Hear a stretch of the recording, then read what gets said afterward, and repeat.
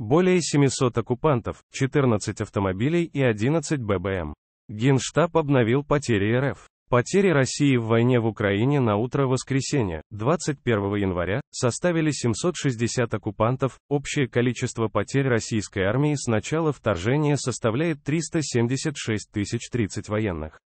Кроме того, в СУ уничтожили 14 автомобилей, 11 ББМ и 10 танков, об этом пишет РБК Украина со ссылкой на телеграм Генерального штаба Вооруженных сил Украины, общие боевые потери противника с 24 февраля 22 года по 21 января 24 года ориентировочно составили, личного состава, около 376 тысяч 30, плюс 760 человек ликвидировано, танков 6181, плюс 10, ЕД, боевых бронированных машин 11466, плюс 11, ЕД, артиллерийских систем 8875, плюс 7, ЕД, РСЗО 968, плюс 1, ЕД, средства ПВО 655 ЕД, самолетов 331 ЕД, вертолетов 324 ЕД, БПЛА оперативно-тактического уровня 6936, плюс 2, ЕД, крылатые ракеты 1818 ЕД, корабли, катера 23 ЕД,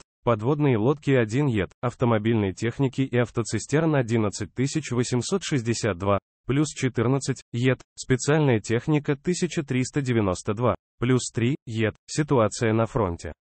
По данным Генштаба ВСУ, в Украине на фронте в течение суток произошло 80 боевых столкновений.